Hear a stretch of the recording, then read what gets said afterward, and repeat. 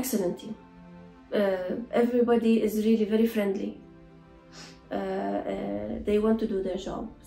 The doctors are all communicating with each other. The neurologist talks to the doctor, and, and um, sometimes that doesn't happen in our country. You feel like it's each one's working individual. So I really like the way it works as a team here, and that it's so personalized to you. You see that that the treatment here is changing over time, and there are, the doctors are reading research that is happening around the world. They're not like um, static. When I walked through the door, I felt immediately that I'd come to the right place. And the staff, from every level of staff, from doctors, nurses, to kitchen staff, everybody are so friendly and helpful and professional. I really liked every single person here.